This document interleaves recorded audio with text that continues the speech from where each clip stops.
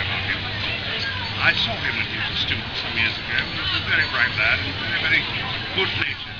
I don't believe he's in the league with, you know, who.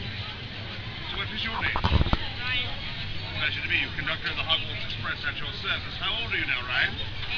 Eight years old. My goodness, he's a, he's a big one for eight years old. Right, Ryan, now in three years' time, when you're 11th year, that is the year that you will find out whether or not you're going to be invited to go to school at Hogwarts School of Witchcraft and Wizardry.